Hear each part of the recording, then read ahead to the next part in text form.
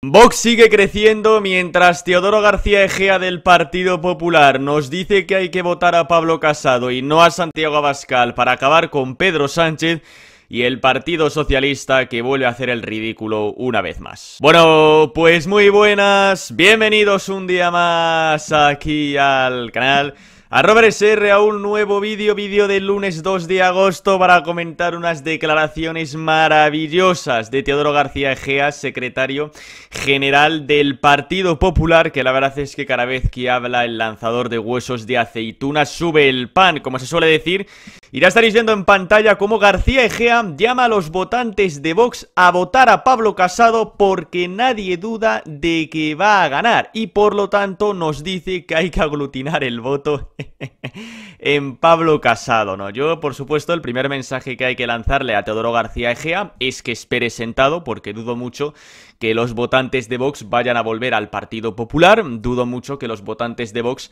vayan a volver al partido que les engañó en 2011 y en posteriores elecciones, que le dieron una pedazo de mayoría absoluta a Mariano Rajoy para poder cambiar bueno, digamos, el rumbo de este país. Lo cambió más o menos a nivel económico, a nivel social, a nivel cultural, dejó todas las leyes de la izquierda y así nos va, con todas las imposiciones ideológicas progres imperando en la sociedad y, bueno, pues eh, sin ningún tipo de oposición al respecto, ¿no? Por tanto, que el Partido Popular tenga una vez más que, salir con todo el tema de lo del voto útil, aglutinar el voto para derrotar a Pedro Sánchez y demás, a mí me parece sinceramente de partido pequeño, porque cuando la única eh, opción, ¿no? O el único motivo que, que, que, tú puedes ofrecer o que tienes que ofrecer a los votantes es simplemente aglutinar el voto, hagamos una especie de voto útil para que no gane el otro y no tienes ningún tipo de propuesta programática o medidas atractivas hacia el votante, hacia el electorado, sino que simplemente es vota con miedo, no sea que ganen los otros, pues a mí sinceramente me parece de partido pequeño. Por tanto, si el Partido Popular tuviese un programa sólido, sensato,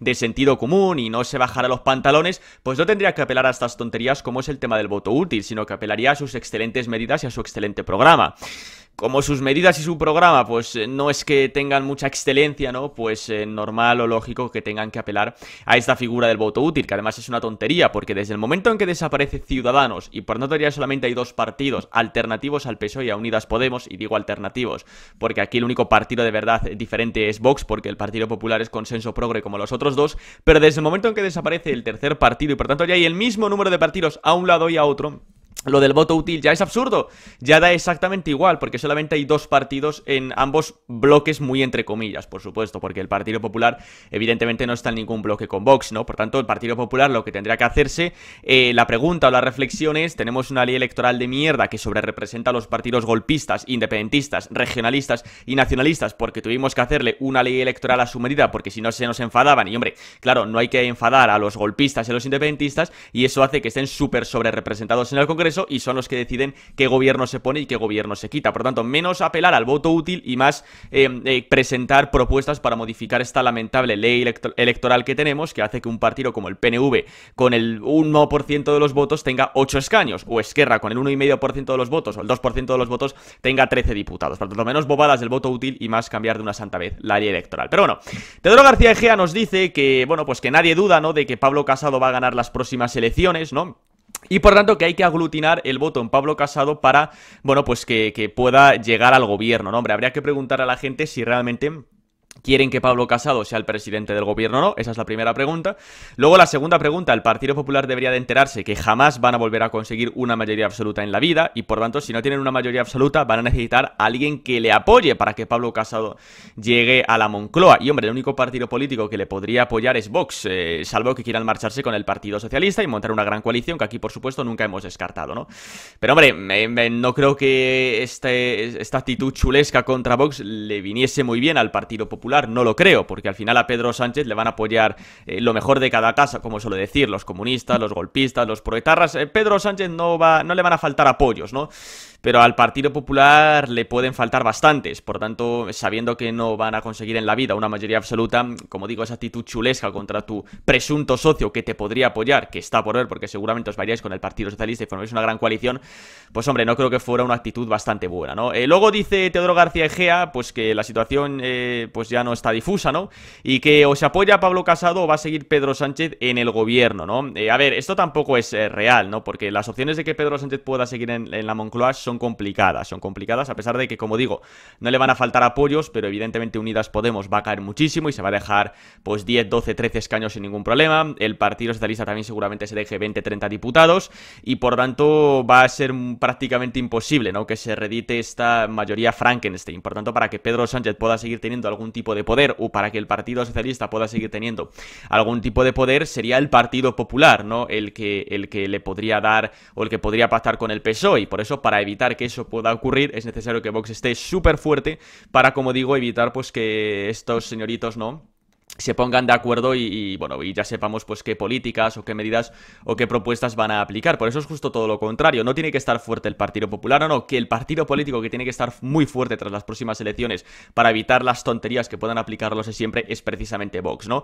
Teodoro García Egea que ponía un tuit, ¿no? Diciendo, bueno, pues eso, que hay que aglutinar el voto en el PP y que la única decisión que hay que tomar en las próximas elecciones es o Pablo Casado o Pedro Sánchez. Aquí tenemos a Teo el demócrata, ¿no? Diciéndonos lo que tenemos que hacer, como digo, utilizando pues esta estrategia del miedo, ¿no? Uy, como no votéis a Pablo Casado, va a seguir Pedro Sánchez. Tened cuidado y apostad por el Partido Popular. Como digo, una estrategia lamentable de partido pequeño, sinceramente, ¿no? Porque podríais ofrecer propuestas, medidas, alternativas atractivas para poder recibir al votante, ¿no? Pero bueno, yo una serie de preguntas que voy a lanzar aquí, ¿no? Si el Partido Popular quiere recuperar los votantes de Vox, esto es muy sencillo. ¿Está el Partido Popular dispuesto a derogar la ley contra la violencia de género? ¿Está el Partido Popular dispuesto a derogar la ley contra la memoria histórica? ¿Está dispuesto el Partido Popular a derogar todas las leyes LGTB? ¿Está dispuesto el Partido Popular a eliminar cualquier tipo de subvención a chiringuitos de género? O me da igual, o a cualquier tipo otro de chiringuito, sea de género, sea eh, político, sea medios de comunicación, me da exactamente igual. ¿Está dispuesto el Partido Popular a decirle a la Unión Europea se acabó y vamos a recuperar soberanías y competencias de las naciones y no estos burócratas y estos sátrapas desde Bruselas y por tanto a insistir en una reforma clara de la Unión Europea. Está a favor el Partido Popular no solamente de bajar impuestos, sino de recortar eh, de forma brutal el gasto público y el gasto político superfluo. Está dispuesto el Partido Popular a tomar medidas contundentes contra el golpismo catalán y esas medidas contundentes pasan por un 155 permanente y legalizar partidos eh, golpistas, declarar eh, organización criminal a los CDR, etcétera, etcétera, etcétera, etcétera, y todo el listado de medidas que hay que tomar en Cataluña. Está dispuesto el Partido Popular a dar la batalla cultural y a no comprar ni un mantra eh, progre. ¿Está dispuesto el Partido Popular a, bueno, quitarse los complejos y contar la historia tal y como ocurrió y hablar del golpismo y esa segunda república ilegal, ilegítima y asesina, que fue lo que pasó, sin necesidad de, bajarse los pantalones, no sea que el Partido Socialista les insulten y les llamen franquistas? ¿Está dispuesto el Partido Popular a todo eso o no está dispuesto el Partido Popular a todo eso? Bueno, pues el Partido Popular tendrá que respondernos a estas preguntas y, por supuesto, diga lo que diga, da exactamente igual, porque tenemos la experiencia de Mariano Rajoy, que también dijo que iba a derogar muchísimas leyes ideológicas de la izquierda y que iba a hacer muchas cosas, y luego no hizo absolutamente nada, y ese es el problema que tiene el Partido Popular, que yo entiendo al Partido Popular y yo entiendo al Partido Socialista, porque son dos partidos que engañan y que mienten a la cara de la gente, y luego la gente, como es tan gilipollas y tan eh, eh, analfabeta desde un punto de vista político y que aplaude como focas cualquier decisión de su partido, luego le siguen votando, a pesar de que les han engañado a la cara, ¿no? Por eso el Partido Popular y el Partido Socialista pueden utilizar la estrategia de la mentira, que da igual, porque luego la gente les sigue votando, ¿no? Por suerte los votantes de Vox son inteligentes, tienen cultura política y no se dejan engañar y por eso evidentemente no van a volver al Partido Popular, porque el PP promete muchas cosas, pero luego hay, eh, ya no nos gusta hacer mucho, como Feijó en Galicia, ¿no? Que hablaba de mucha libertad lingüística y vamos, para ver el español en, un colegio en Galicia, tienes, eh, vamos, eh, no sé, que ir al, colegio del pueblo más pequeño casi, porque en el resto de sitios no se habla español ya prácticamente en ningún centro educativo. Por cierto, un Feijó, el Partido Popular, que también le encanta, ¿no? Ir por ahí discriminando a la población y que si certificados no sé cuál y certificados no sé qué, para poder entrar a un bar a tomarte una caña, ¿no? Por tanto, como digo, el Partido Popular con esas estrategias, ¿no? De querer recuperar el voto de Vox, sinceramente, van perdidos. Pero bueno, Respuesta de un votante de Vox al ultimátum de García Egea, secretario general del PP, Nuts, y bueno, utilizar a Pedro Sánchez, como digo, para chantajear a los votantes de Vox, la estrategia del miedo, que es la estrategia que solamente sabe o puede utilizar un partido político pequeño, ¿no? Como bien recuerdan ahí, el PP contribuye al serenamiento contra los votantes de Vox y luego nos pide el voto, que es lo más gracioso, ¿no? Que el PP permite que Santiago Abascal sea declarada persona non grata, el PP compara a Vox con Puigdemont, lo compara con Bildu, recordad todas las declaraciones de Pablo Casado en la moción de censura, todos los ataques que el Partido Popular ha hecho hacia Vox, recordábamos ayer una declaración que se ha hecho en el Ayuntamiento de Alicante diciendo que Vox es responsable de que mueran mujeres y, gays y demás. O sea, es que el Partido Popular no para de atacar a Vox, pero luego, eso sí, nos pide el voto, hay que votarles para evitar que gobierne Pedro Sánchez, cuando al final el Partido Popular va a aplicar las mismas políticas del Partido Socialista. Si vemos, si es que luego, vamos, van corriendo a aplicar que si el LEN no sé qué, que si la memoria no sé cuál. Y vamos, van corriendo a poner la pancartita cada vez eh, de lo de la violencia de género. Eso sí, como hay víctimas de primera y de segunda, cuando tenemos otro tipo de víctimas, no hacen absolutamente nada y no hay minutos de silencio, ¿no? Entonces, hombre, que el Partido Popular, como digo, pues nos quiera pedir el voto con esas estrategias, a mí personalmente me da la risa, ¿no? Y como bien se dice, solo un Vox fuerte puede presionar al PP para abandonar el consenso progre. Bueno, pregunta muy interesante que se hacía un usuario en Twitter.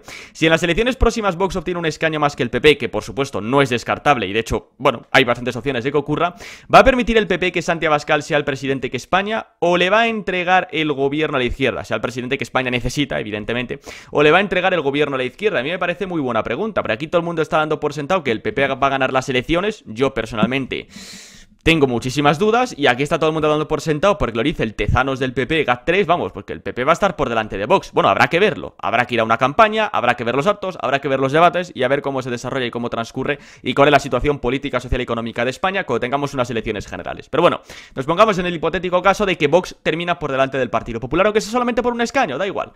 ¿Va a apoyar Pablo Casado a Santiago Abascal? Ni de coña ni de coña va a apoyar Pablo Casado a Santiago Abascal y ni de coña va a hacer Pablo Casado presidente a Santiago Abascal. Ni de coña, antes se van con el Partido Socialista. Por eso, como siempre decimos, habrá que votar a lo seguro. Bueno, el Partido Socialista que se les ve muy nerviosos, el Orza que dice que la alternativa al gobierno de Sánchez es el neofranquismo de Casado y Vox. Ojo, al igual que el Partido Popular utiliza el, miedo como argumento, que como digo me parece un argumento de un partido político pequeño, el Partido Socialista más o menos igual. Ellos utilizan los sentimientos, ¿no? Como, argumento político, el neofranquismo, el machismo, el no sé qué, y no argumentos racionales, ¿no? De que el PSOE es la peor gestión del mundo a nivel sanitario y a nivel económico, que tenemos 5 millones de parados, 40% de paro juvenil, la ruina económica, las colas del hambre siguen aumentando, indultando a golpistas, acercando a etarras leyes dictatoriales que terminan con la libertad de expresión, con la libertad de opinión o de pensamiento, con esa nueva ley memoria democrática, etcétera, etcétera. Claro, ocultan todo eso en el sentimiento, el neofranquismo, el machismo, no sé qué. O sea, nos damos cuenta las dos estrategias de los dos grandes partidos políticos, el miedo del Partido Popular y los sentimientos del Partido Socialista. Por favor, necesitamos políticos decentes, necesitamos partidos políticos serios, serios de una santa vez en este país, que no hemos tenido en la vida un partido político serio y en la vida políticos serios.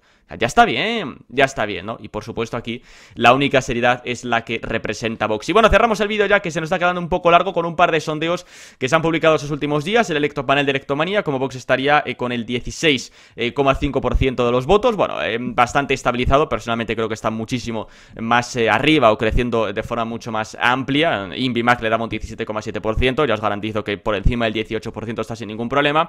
Y luego, bueno, pues también sondeo de sociométrica al servicio del Partido Popular. Así que este sondeo sí que es cierto que también hay que tomarlo un poco con pinzas pero bueno, ahí vemos a Vox en el 16,1% y bueno, pues eh, eh, por encima de forma notable con Unidas Podemos que sigue cayendo, el Partido Socialista ir rondando los 100 diputados y el PP por encima, pero como digo, esas encuestas pues sirven para bien poco, sirven para bien poco porque ahora tenemos este mes de agosto que las cosas suelen estar tranquilas y vamos a ver luego a la vuelta de vacaciones qué ocurre si al final se presenta una moción de censura o no contra Pedro Sánchez, que Vox se la pedirá al Partido Popular. Y luego, como digo, cuando lleguen las elecciones, campaña, actos, debates y todo puede ocurrir. Pues nada, señores, simplemente hasta aquí este pequeño vídeo. Como siempre, si os ha gustado el vídeo, podéis dar a like, os podéis suscribir, podéis dejar un comentario, descripción del vídeo, Twitter, Instagram, correo de contacto, grupo de Telegram, listas de reproducción que pueden ser de vuestro interés. Y nosotros ya nos vemos estos próximos días, semanas, con más vídeos aquí en el canal. Hasta luego.